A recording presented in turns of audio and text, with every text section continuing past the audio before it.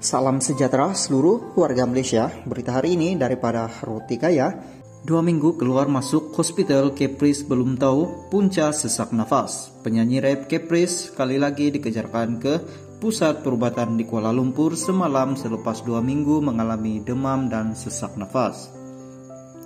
Menurut Kepris, dia sudah berapa kali mendapatkan rawatan namun dokter masih belum mengetahui tentang penyakit yang dialaminya. Sejak dua minggu ini, saya sering keluar masuk hospital disebabkan demam dan sesak nafas.